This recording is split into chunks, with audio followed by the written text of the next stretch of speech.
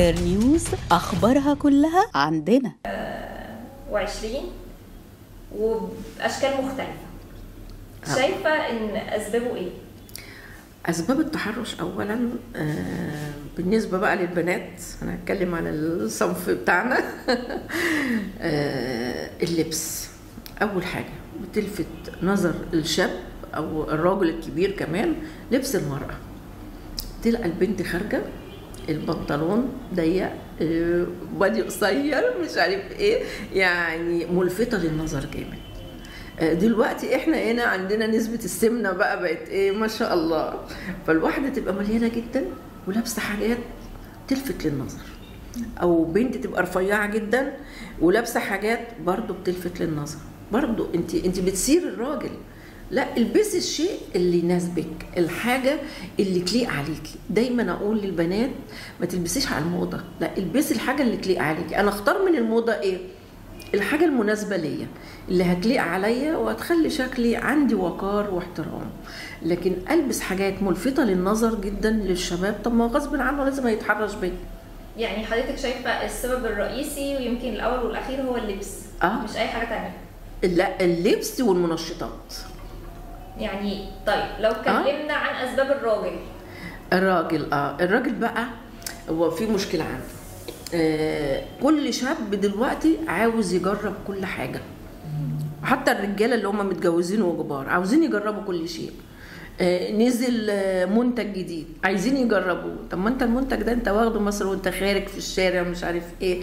ما انت برضو ما, ما بتقدريش تتحكمي في عقلية ال- الشاب أو الشابة أو ال- أو الرجل اللي هو بياخد الحاجات دي آه، تقدريش تتحكمي أبدا في عقليته لأنه خلاص هو خد على شيء معين مش مشكلة بقى خد ال- ال- البرشام ال- أيا كان اللي خده دوت طب هو بياخده ليه أصلا؟ لما هو عارف إن هو ممكن يتحرش بحد. ي... يقتحم مساحة حد لا لا لا؟ لا, لا. أقول لك الشلة اللي بتبقى مع بعض آه، في أصحاب سوق كتير. يعني واحد ليه أصدقاء. ده جايب حاجة من بره ده اشترى حاجة من هنا طب خد جرب طب خد اعمل. طب ليه. ما جربش ولا أخد من حد حاجة. أنا بطبيعتي ربنا مديني طبيعة. وزي ما بقول وهقولها برضو وهفضل أقول 100 مرة لو أنت ضعيف آه، في القدرة الجنسية تقدر تتجه لأي دكتور يعالجك. لكن ما تتجهش للحاجات التانية.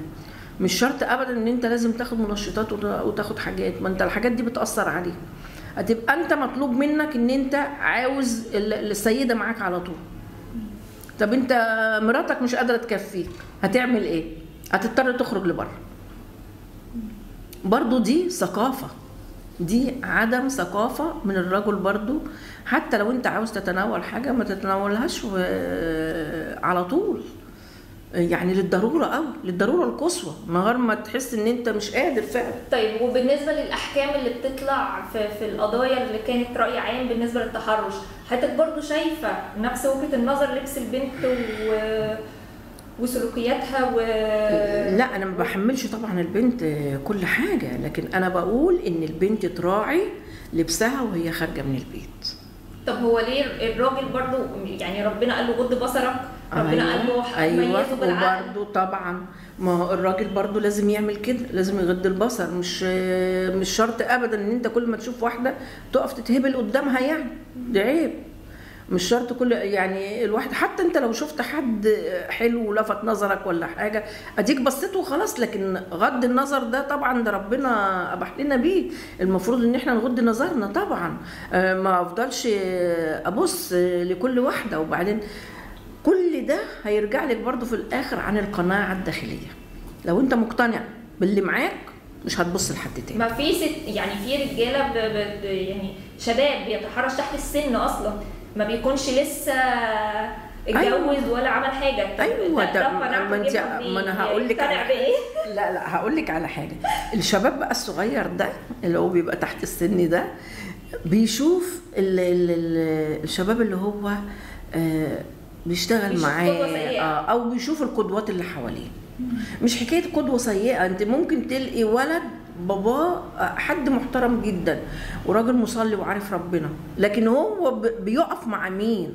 الشباب اللي بيقف معاهم الناس اللي بيتعامل معاهم إيه؟ ما هي دي برضو بتختلف آه، عن نوعية الناس اللي أنت بتقابليهم وإن أنت بتشوفيهم برضو. دي كل دي بتبقى عوامل مؤثرة برضو في الموضوع التحرش ده. يعني مثلا أنا لو لو طالب وصديقي دوت طالب زيي بس ابن ناس جدا وعارف ربنا وبيصلي و... و... أو ملتزم في حياته آه، أكيد أنا هكون ملتزم وياه. لكن لو معانا واحد تاني فاسد بقى وبيشرب سجاير وبيتعاطى ياخد قولة برشامة قولة مش عارف إيه الحاجات اللي بياخدوها دي ما برضو أنا هبص له وهعمل زي.